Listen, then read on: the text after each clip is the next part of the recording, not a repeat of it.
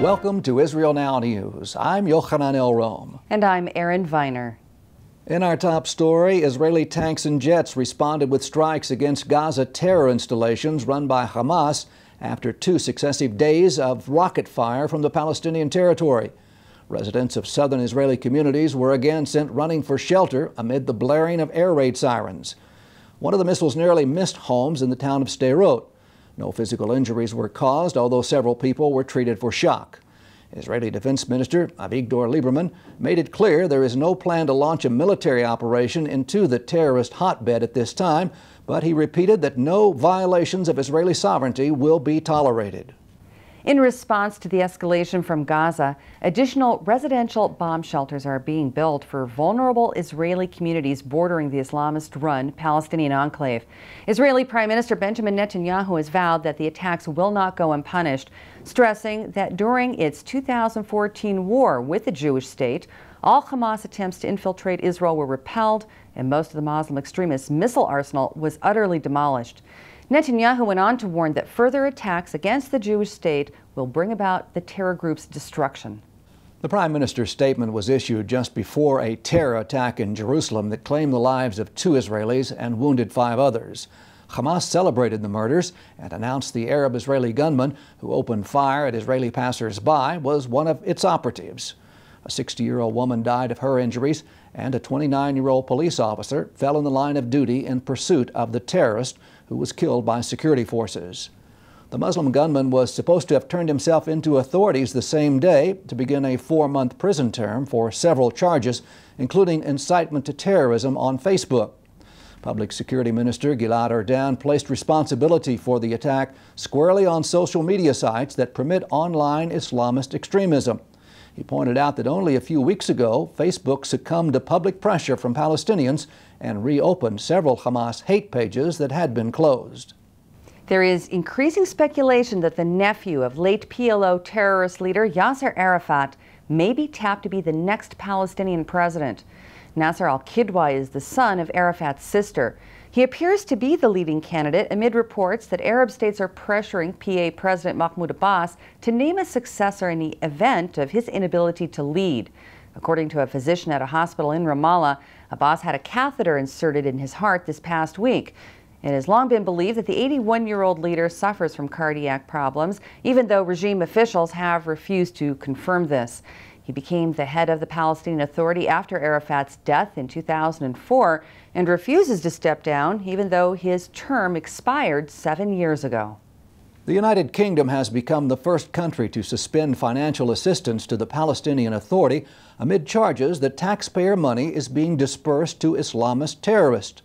The freeze was ordered by Britain's Department for International Development after lawmakers demanded action be taken. There have been numerous recent reports that Ramallah has been using aid money meant for civilians to reward Arabs who murder and attack Jews.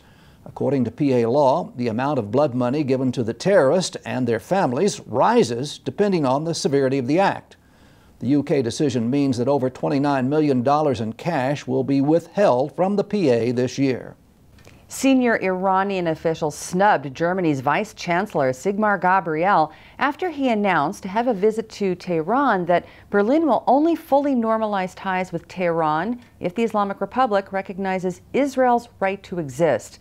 Iranian Foreign Minister Mohammad Javad Zarif and Parliament Speaker Ali Larijani abruptly canceled their meetings with Gabriel, who also serves as his nation's economy minister.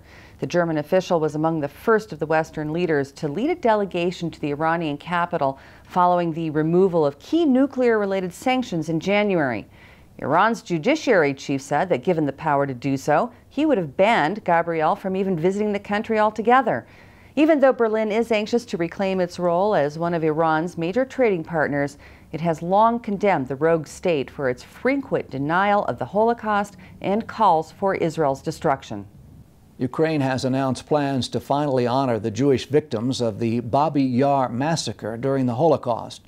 President Petro Poroshenko revealed plans to build a memorial center at the site where the Nazis and their collaborators gunned down more than 33,000 unarmed Jewish men, women, and children 75 years ago.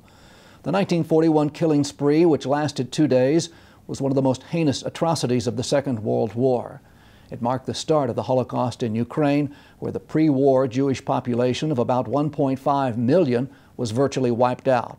Poroshenko said it is extremely important for all of humanity to remember the origin and bloody history of the Holocaust, which should serve as a warning to present and future generations about the dangers of hatred, fanaticism, racism, and intolerance. Italy's national soccer team has been slapped with a $30,000 fine for anti Semitic behavior by fans that occurred during a September 5th match in Israel. During the playing of the national anthems, many of the Italians stood and made fascist salutes. The sport's governing body, FIFA, condemned the behavior as improper and discriminatory. The decision was hailed by the Union of Italian Jewish Communities, which first brought attention to the incident on its news website. An Israeli diplomat just chaired a committee at the United Nations for the first time in history. Diplomats from Iceland, Norway, Korea, and many other member states congratulated Israel's UN ambassador Danny Danon on his election as head of the Legal Committee, which is one of the main bodies of the General Assembly. It's also the primary forum for the UNGA's consideration of legal matters. The only representative to speak out against Danon's appointment was, predictably, from the Palestinian delegation. This week, Jews around the world will dwell in tabernacles as commanded by the Bible in Leviticus chapter 23. It's truly a special time in Israel where makeshift booths can be seen in yards, porches, and patios. The Bible instructs Jews to take up the four species, which include a palm branch, etrog, myrtle, and willows. The festival of Sukkot has become a most popular time for Christians to travel to the Holy Land in fulfillment of the words of the prophet Zechariah who said that it shall come to pass that all nations would come up to Jerusalem to worship the King, the Lord of hosts, and to keep the Feast of Tabernacles. Erin has more on this story. Yes, that's right, Yochanan. Tens of thousands of Christians are currently visiting Israel and participating in the Feast of Tabernacles hosted by the International Christian Embassy Jerusalem. This mega event has become a beacon of Israeli Christian cooperation and is attended by Israeli parliamentarians and Christians from around the world. The event concludes with a march throughout the holy city of Jerusalem, with Christians and Jews waving Israeli flags together and singing the national anthem of the Jewish state. Sukkot is truly an exciting time to visit the Holy Land, and we at Israel Now News would like to invite you to join us here next year. Happy Sukkot, or as we say in Hebrew, Chag Sukkot Sameach.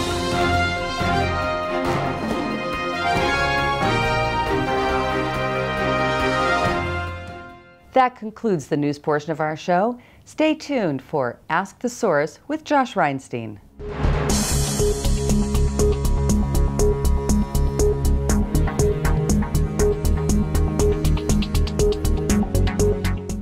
Hello and welcome to Ask the Source. I'm your host Josh Reinstein and we're here on a beautiful sunny day in Jerusalem. My guest today is Fleur Hassan Nahoum. She's a city councilwoman for the city of Jerusalem.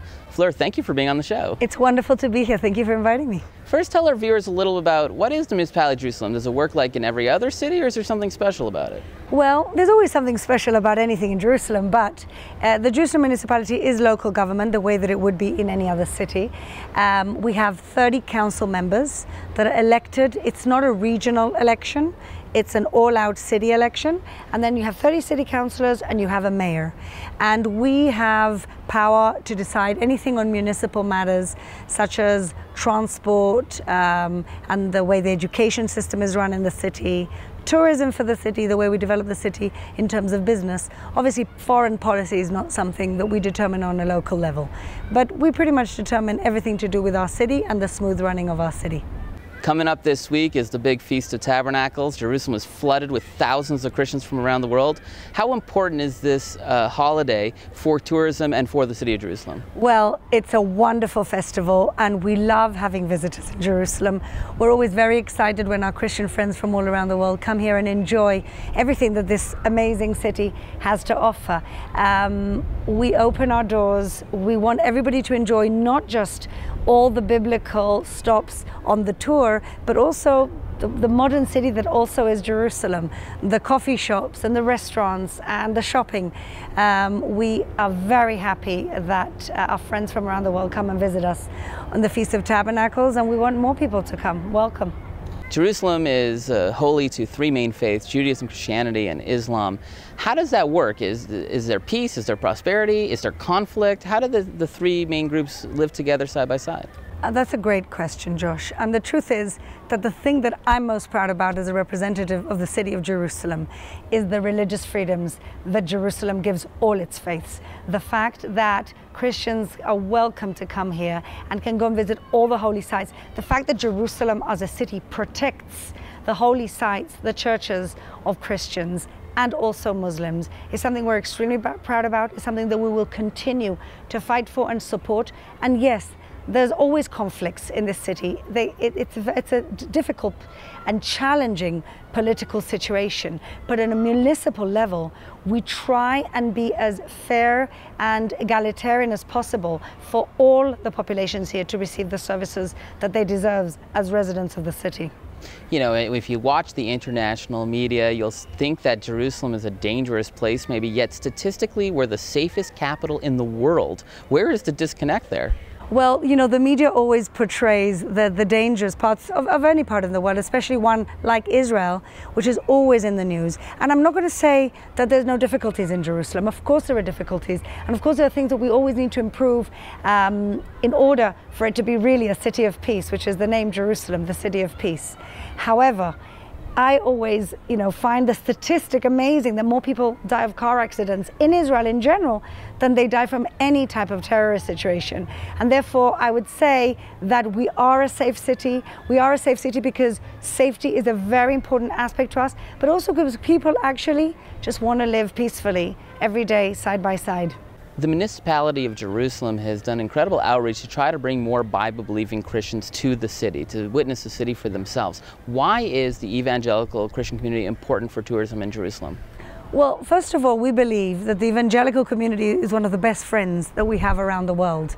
It's important for tourism in Jerusalem because the evangelical community want really to get to know intimately the city of the book, the, the, the book of Abraham and Isaac and also Jesus and the way that he found this city, and this was his city as well, that he found so special and he cried for. So, therefore, um, I believe that it's incredibly important that our friends around the world, our Christian evangelical friends, come to Jerusalem, get to know Jerusalem, feel a part of Jerusalem. This city also belongs to the three major faiths, and so we want people to come here and enjoy everything the city has to offer. And like I said earlier, not just the biblical Jerusalem, but also the modern Jerusalem, the place that you will enjoy to also bring your kids to uh, and enjoy the beautiful views that you see here and also the cultural activities that the city has to offer, as well as the biblical and religious activities. So we would love to see all of you here. Fleur, there are literally tens of millions of people watching this show. What message do you have for a viewing audience? Jerusalem is sometimes a city that is seen as a city of conflict. And there are problems, and there are problems that we as a municipality work hard every day to try and solve. But there are people here who want our friends to come to Jerusalem, who work hard for every resident of Jerusalem, for them to have their place and to feel at home. We have a long way to go, but this is already an amazing city that we hope all of you can connect to on a personal level um, as well as on a religious level. So please come. We would love to have you here. I would love to welcome you all very soon. Thank you, Fleur, for being on the show. And thank you for tuning in to Ask the Source. I'm your host, Josh Reinstein, wishing you a happy Feast of Tabernacles. Now back to the studio.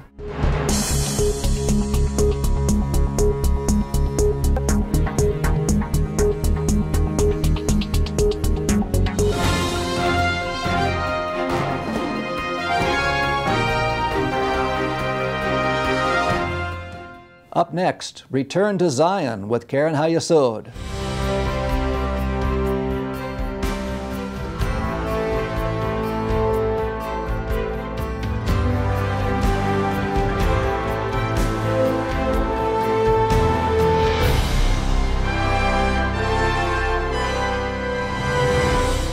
Shalom and welcome to the Return to Zion with Keren Hayesod.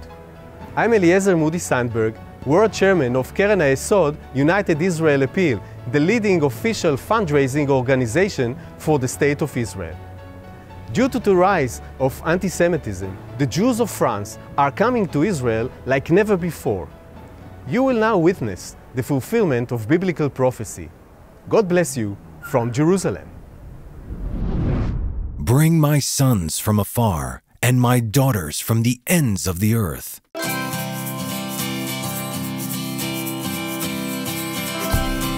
Both the departure from France and the reception at Ben Gurion Airport were colorful and festive events, full of hope for the future.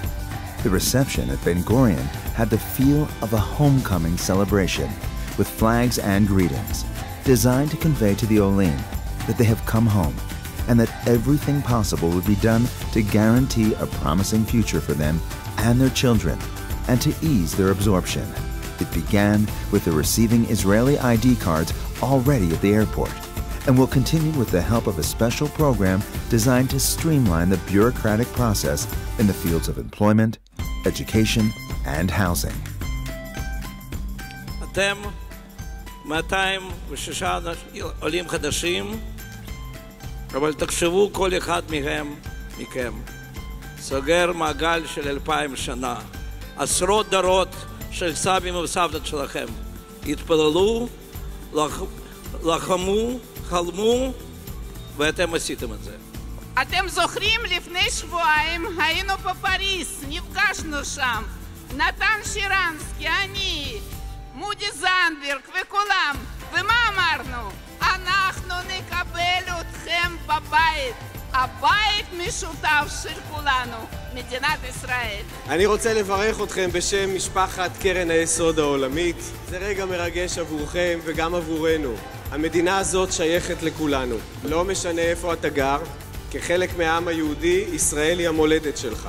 קרן היסוד מגייסת תרומות, ויחד עם הסוכנות היהודית, השותפה שלנו, ומשרד הקליטה, אנחנו עוזרים לחלום הציוני להתגשם. The Jewish community of France is the largest in Europe, numbering half a million Jews. On est des vrais sionistes, on adore Israël et que c'est pas par peur ou voilà, c'est vraiment par envie parce qu'on avait envie de vivre ici, on avait envie de vivre en Israël. Je suis très très émue et je réalise pas. J'ai du mal à réaliser parce qu'on préparait ça depuis des années et des années. Beaucoup de joie, une très très grande émotion. J'ai énormément les larmes aux yeux. Et j'espère que tout le monde pourra réaliser ce rêve un jour. Un projet de vie, ça fait euh, depuis qu'on est mariés, c'était notre projet de monter en Israël. Je trouve que c'est très impressionnant euh, d'arriver dans un nouveau pays dans lequel on, on se dit euh, on va arriver, on connaît entre guillemets personne, seul, et au final c'est impressionnant, impressionnant Parce qu'on n'est pas seul et c'est vraiment. C'est beau. Il n'y a que Israël pour faire ça. C'est vraiment. Euh, voilà. Mesdames et messieurs, le Premier ministre de l'État d'Israël, M. Bibi Netanyahu. Bonjour tout le monde, bienvenue en ישראל. יש פה קהילה מפוארת של יהודים שעלו מצרפת, הם יחבקו אתכם ויקבלו אתכם, אבל כל העם יקבל אתכם. אנחנו אוהבים אתכם, אנחנו מעריכים את המעשה הציוני שעשיתם, שהוא גם מעשה אישי. הוא מעשה אישי גדול ומעשה לאומי גדול.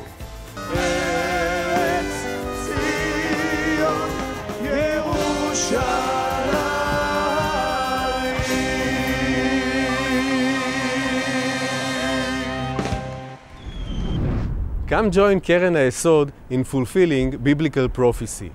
Let's bless Israel together.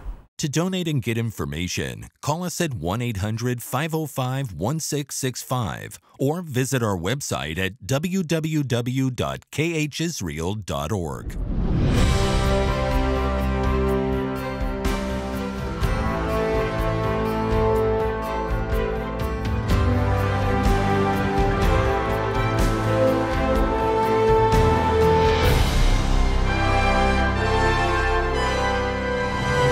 I've just watched a video that shook me to the core of my being. In just a few seconds, it shows why our conflict persists. So here's a short snippet. A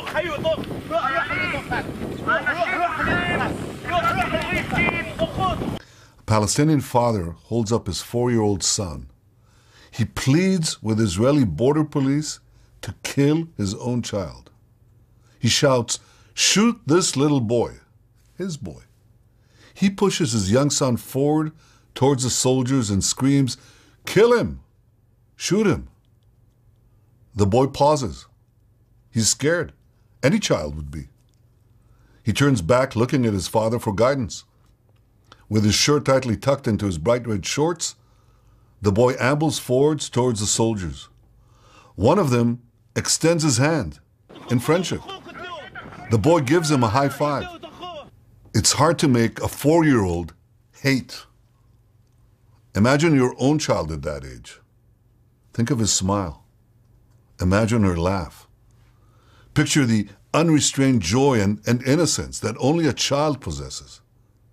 Encouraging someone to murder a child, let alone your own child, is probably the most inhumane thing a person can do. What did this child do to deserve this? The answer is nothing. He's innocent. He should be in a playground. He should be in the sun, laughing with other children. Sadly, this father's crime is not an isolated example.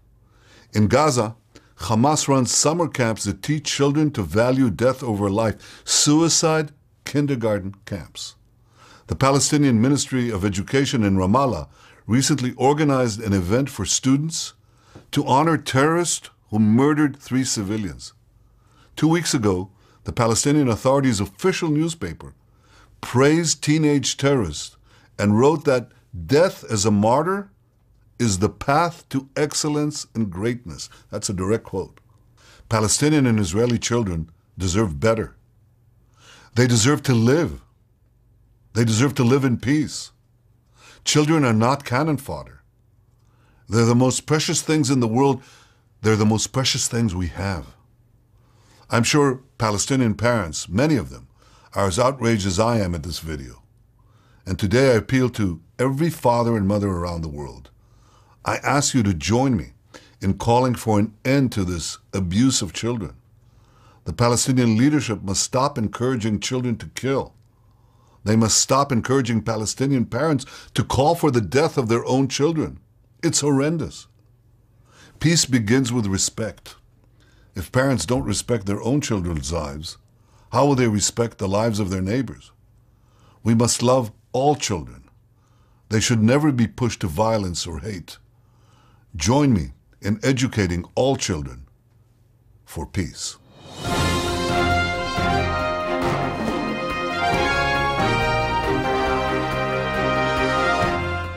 Please stay tuned for the ICEJ report from the International Christian Embassy, Jerusalem.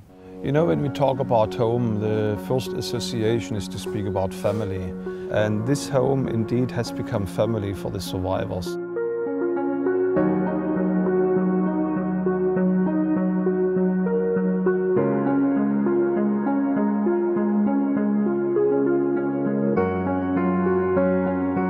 It all started in 2010. Shimon Sabag, who directs today this house, he had a small soup kitchen here in this neighborhood. And he saw that Holocaust survivors were coming to his soup kitchen and he felt if there are needy Holocaust survivors, we need to do something about it. And he asked us to come and he showed us a small apartment where he wanted to host 13 Holocaust survivors. He said, can the Christian Embassy help us to purchase that building? I looked at the entire building, which was a four-store building. I felt the Lord talk to me and I said, Shimon, why don't we buy the entire house? I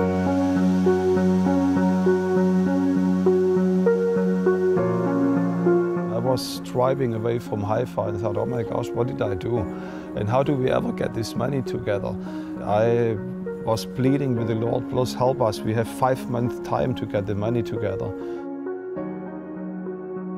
For me, the biggest miracle was to see within two weeks people were sending us so much money like never before that after two weeks we could purchase that building. And within those five months which we had, we could even purchase two buildings.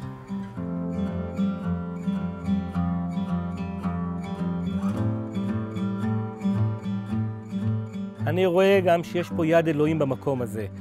וללא המרקם בין השגרירות הנוצרית ליד עזר לחבר, המקום הזה לא יכל להתפתח. אז אני רואה בזה, במדרגה ראשונה את הדבר הטוב ביותר שקורה, ולא סתם אה, באים לפה בני נוער, אה, חיילים, שהם שומעים שנוצרים, הם מחזיקים את המקום, הם מתנדבים במקום, זה מראה שאפשר גם את ההיסטוריה לשנות בצורה טובה, והשגרירות הנוצרית היא דוגמה לכל הנוצרים בעולם איך אפשר לעשות דברים אחרת, ואתם עושים את זה גם ככה.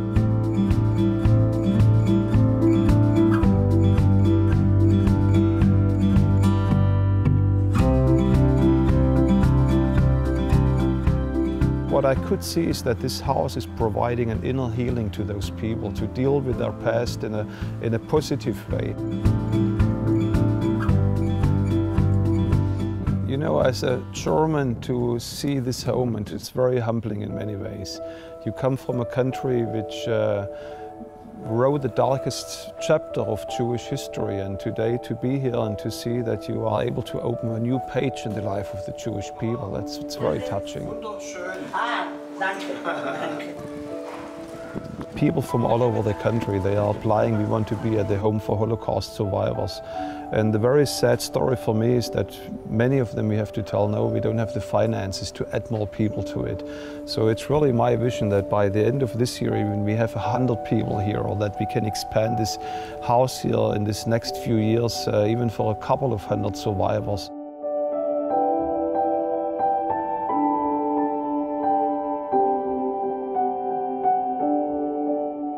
Time is running out in Israel and we need your help to continue this operation here in Haifa and even to expand it. The keys are in your hand. Please help us to open the door and welcome them home.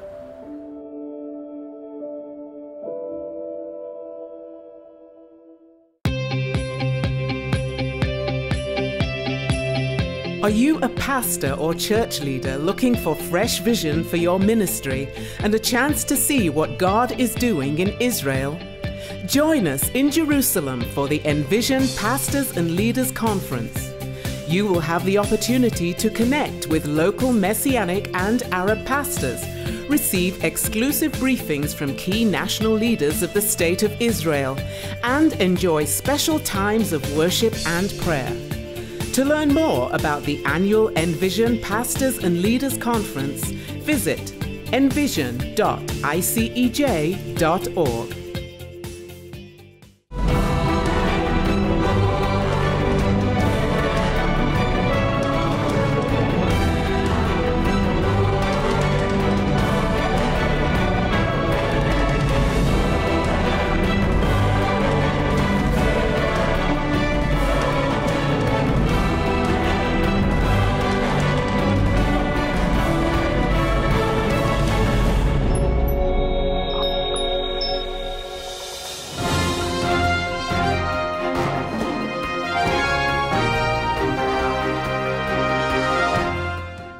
That's all for this edition of Israel Now News. I'm Yochanan El Rom. And I'm Erin Viner reporting from our studio in Jerusalem. Please join us again next week for all of your Israel updates.